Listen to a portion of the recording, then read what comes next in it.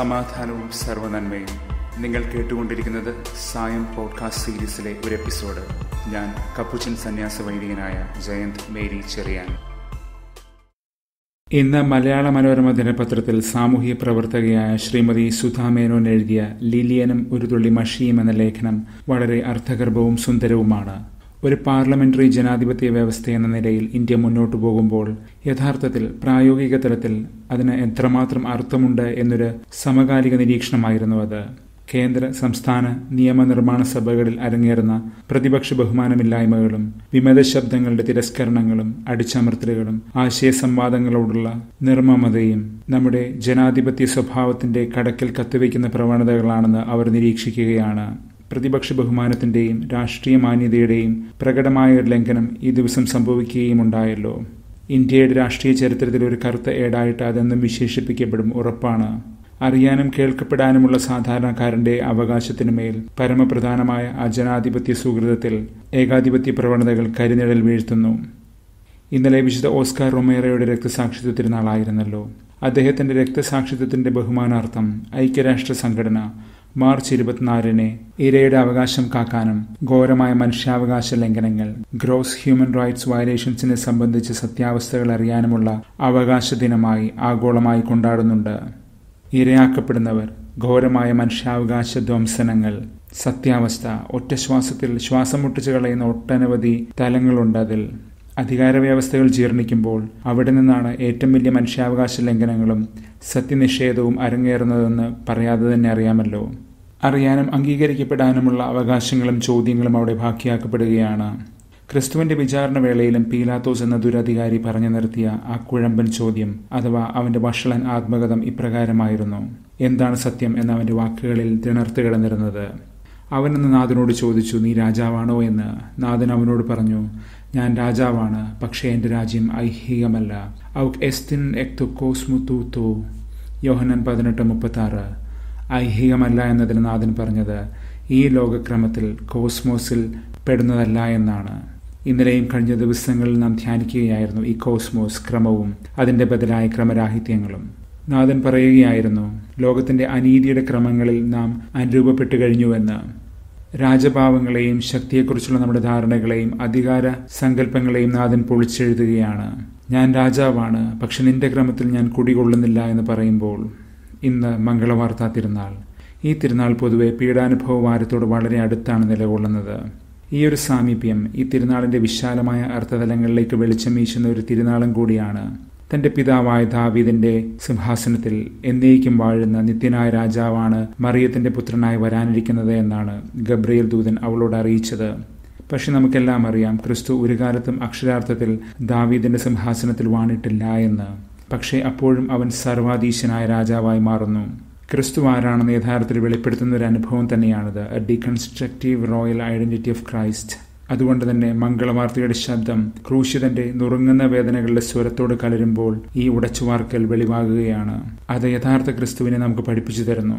ലൂക്ക ഇരുപത്തിരണ്ട് മുപ്പത് ക്രിസ്തു എങ്ങനെ രാജാവായി വാഴുന്നുവെന്ന യുഗാന്ത്യ ചിന്ത എസ്കിറ്റോളജിക്കൽ തോട്ട് പങ്കുവയ്ക്കുന്നുണ്ട്. എന്നാൽ മനുഷ്യർ പലപ്പോഴും യുഗാന്ത്യത്തിലേക്ക് കണ്ണോടിക്കുന്നവരല്ല. അവന്റെ ചിന്തകൾ ഈ ഭൂമിയിലും ഈ ജീവിതഗതിയിലും ഇന്നുകളിലും ഒതുങ്ങിപ്പോകുന്നവനാണ്. ഇന്നുകളെ ആഘോഷമാക്കിക്കൊണ്ട് നാളെ മറക്കുന്നവർ. ഇന്നലെ ജ്ഞാനത്തിന്റെ ഗ്രന്ഥം പറഞ്ഞതുപോലെ അവർ ഈ ജീവിതത്തിനും ലോകത്തിനുമപ്പുറം ഒന്നും അറിയുന്നുമില്ല അറിയാൻ താല്പര്യപ്പെടുന്നുമില്ല അതുകൊണ്ട് തന്നെ യുഗാന്ത്യോന്മുഖമല്ലാത്ത കേവല ഭൗതികമായ ചിന്തകൾ നോൺ എസ്കറ്റലോജിക്കൽ തോട്ട്സ് അതിന്റെ തിരയിളക്കവും നാം ഇവിടെ ശ്രദ്ധിക്കേണ്ടതുണ്ട്.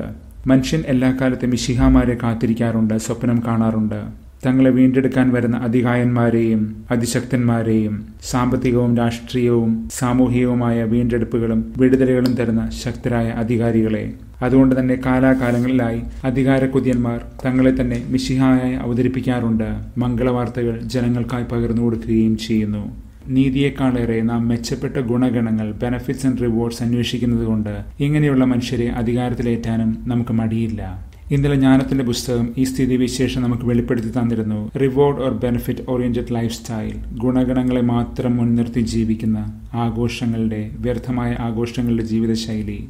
ദൈവിക നീതിയിലും സത്യത്തിലും പുലരുമ്പോൾ ഉണ്ടാകുന്ന ക്ലേശത്തിന്റെ വഴികളെ പുണരാൻ അത് വളരെയധികം മടിക്കുകയാണ്. അതുകൊണ്ട് തന്നെയാണ് ഹോസാന പാടി നാഥന് രാജാവായി വരവേറ്റവർ അവനെ ക്രൂശിക്കുമെന്ന് ആക്രോശിച്ചത്. അവർ ഉദ്ദേശിക്കുന്ന ഒരു രാജാവായിരുന്നില്ല ക്രിസ്തു. അവരുദ്ദേശിക്കുന്ന ഗുണങ്ങൾ അവനിൽ നിന്ന് ലഭിച്ചതുമില്ല. ഈ ദിവസങ്ങളിലെല്ലാം തന്നെ ക്രിസ്തു താനും വിശുദ്ധ ലിഖിതങ്ങളും തമ്മിലുള്ള ബന്ധത്തെ ഊന്നി സംസാരിക്കുന്നുണ്ട് യഹൂദന്മാരുമായുള്ള സംവാദങ്ങളിൽ. എന്നാൽ ആ വഴിയിൽ അവർ നാഥനെ അംഗീകരിക്കുന്നില്ല എന്ന് മാത്രമല്ല നാഥനോട് കൂടുതൽ മാരകമായി എതിരിടുന്ന ഒരു പ്രകടനമാണ് കാഴ്ചവെക്കുന്നത്. വചനം മാംസം ധരിച്ചവനാണ് ക്രിസ്തു അതിനാൽ അവൻ ലിഖിത വചനത്തിന്റെ പൂർണ പ്രകാശനമാണ്. മംഗളവാർത്തയിൽ വിടരുന്നതും ഈ സത്യം തന്നെയാണ്. ജീവന്റെ വചനം വിവ വോക്സ് എങ്ങനെ നമ്മുടെ ജീവനുമായി സംവദിക്കുന്നുവെന്ന് നസ്രത്തിലെ മറിയം ദൈവത്തിന്റെ വചനത്തെ പൂർണ വിശ്വാസത്തോടെ കേട്ടവളായി. ദൈവത്തോടും അപരരോടുമുള്ള തുറവിയുടെ കുറിയാണ് മറിയം.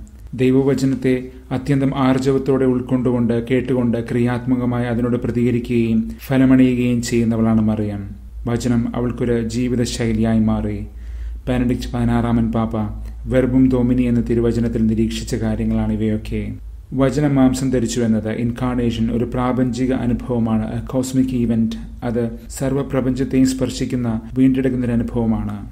അത് ദൈവിക പദ്ധതി കോസ്മോസ് ക്രമത്തിന്റെ പരിപൂർണതയുമാണ്. അതുകൊണ്ട് തന്നെ ദൈവം പ്രപഞ്ചത്തെ സ്പർശിക്കുന്ന പച്ചയായ ഒരു അനുഭവം ഈ മനുഷ്യാവതാരത്തിൽ നാം വായിച്ചെടുക്കണം. സഭാപിതാക്കന്മാർ പറയുമായിരുന്നു ദൈവിക വചനം ലോഗോസ് ആദ്യം ദൈവത്തിന്റെ ഹൃദയത്തിലായിരുന്നുവെന്ന്. പുത്രൻ എല്ലാം അവൻ സൃഷ്ടിക്കുമ്പോൾ അത് ദൈവത്തിന്റെ അധരത്തിലൂടെ മൊഴിയപ്പെട്ടു. സൃഷ്ടിദായകമായ വചനം. പിന്നെ വചനം മാംസം ധരിച്ചു. Mind to mouth to flesh ഹൃദയം കടന്ന് അധരം കടന്ന് മാംസത്തിലേക്ക്. വചനത്തിന്റെ ദീപ്ത വഴികൾ അങ്ങനെയാണ്.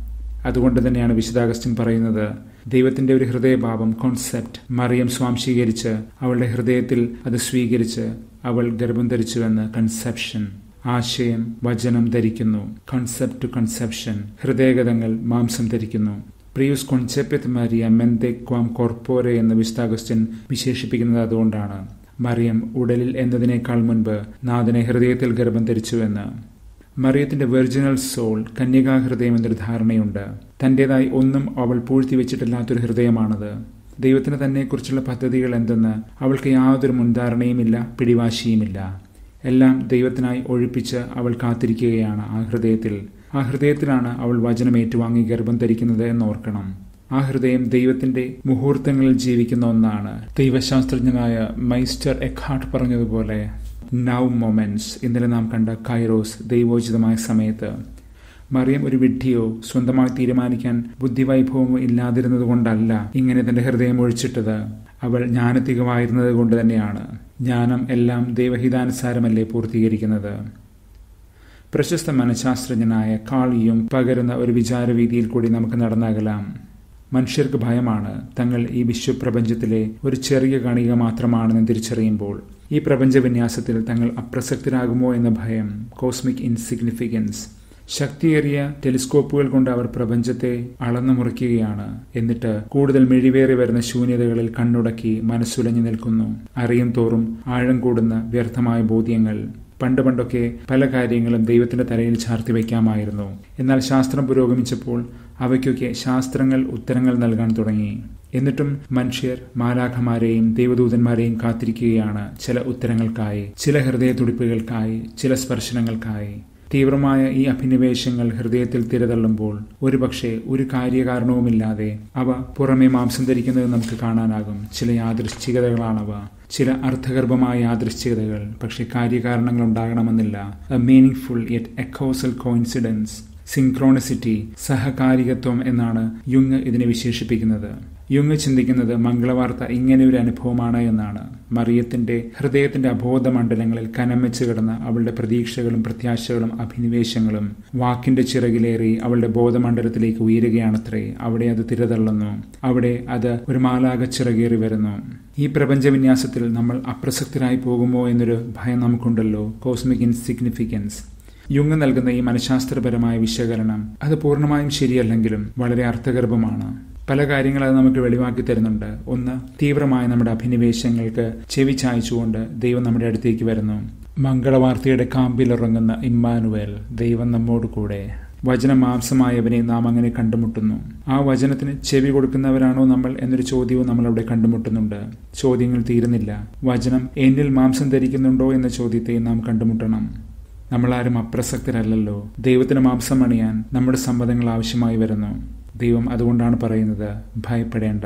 കൃപ നിറഞ്ഞവരെ ഭയപ്പെടേണ്ട.